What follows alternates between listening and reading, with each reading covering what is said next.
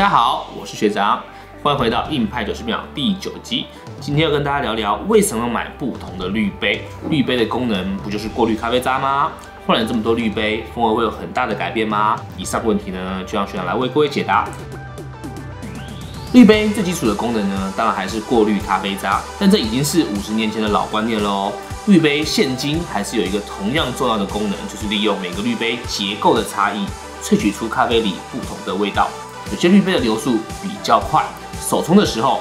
粉和水接触的时间呢就会比较短，果酸和香味呢就会比较显著。但有些滤杯流速比较慢，手冲的时候呢，粉和水接触时间呢就会比较长，甜感和口感呢就会显得比较显著了。还有一些是会变速的滤杯，例如扣浓滤杯呢就是一个前快后慢的变速滤杯，因此它冲煮出来的风味呢就可以有比较显著的层次变化，就不是一般的均速滤杯可以做得出来的。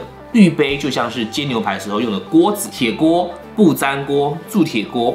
都有不同的厚度啊，导热速度啊，不同的大小。那搭配不同的烹煮方式呢，有时候呢会让你牛排特别的香，有些是甜味特别的足，有时候可能是外焦里嫩，有些是香酥可口。你当然可以用同样一个锅子搭配不同的烹煮技术呢，做出不同的滋味。但有时候呢，真的很难啦，或者真的有时候会做不出来。那可能是因为每个锅子呢都有它独特的结构，就和滤杯一样哈。多一点的工具，你的选择呢自然就会比较多元。